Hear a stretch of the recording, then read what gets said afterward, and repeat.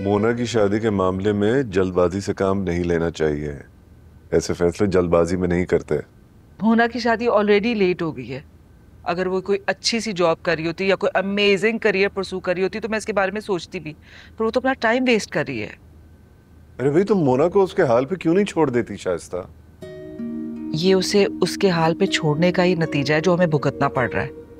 तुम क्या इरफान की बात कर रही हो? जी। उसने तो ठेका उठाया हुआ है हमें पूरी दुनिया में एम्बेरस करने का। देखो उसने जो कुछ किया उसकी रीजंस थी। क्या तुमने वो रीजन सुनने या समझने की कोशिश की? उसने कभी मेरी बात सुनी है जो मैं उसकी बात सुनूँगी? अरे पेरेंट बच्चों के साथ जिद लेकर नहीं बैठ जाते हैं। वो बच्ची है नादान है हमें उनके साथ बच्चा नहीं बन जाना चाहिए। जिद वो करी है या मैं?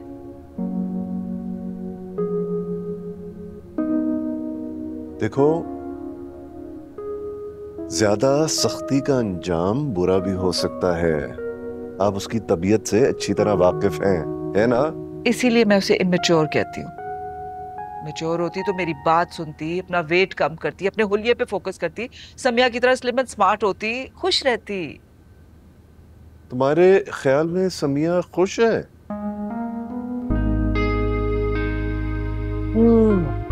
तुम्हारी दूर की तो नज़र कमज़ोर थी करीब की भी है ये नहीं पता था।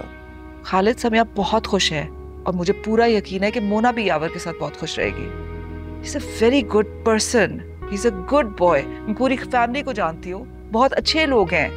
बस इस इरफान से जान छूट जाए किसी तरह।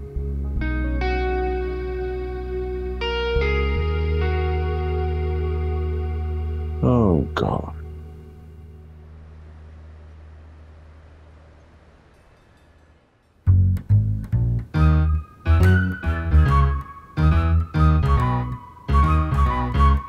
मामा वो मैं जा रहा हूँ।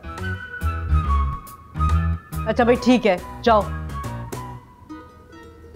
मामा वो मोना जिद कर रही है ना? उसकी बहन की तबीयत ठीक नहीं है।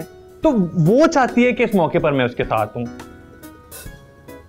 वर, वरना आपको पता है कि इतने इमरजेंसी के मौके पर मैं अब, अब मामा ये तो कराची है। क्या हो गया? मैं पहुँच के आपको कॉल करता हूँ ठीक है? और आप रेस्ट करें ना इतने टाइम हो गया है। आप रेस्ट करें ताकि आपका बीपी हाई ना हो ठीक है? ठीक है? ठीक है। आप खुश हैं, आपको कोई मसला नहीं है ना? ठीक है? अल्लाह हाफिज। आया। Bye bye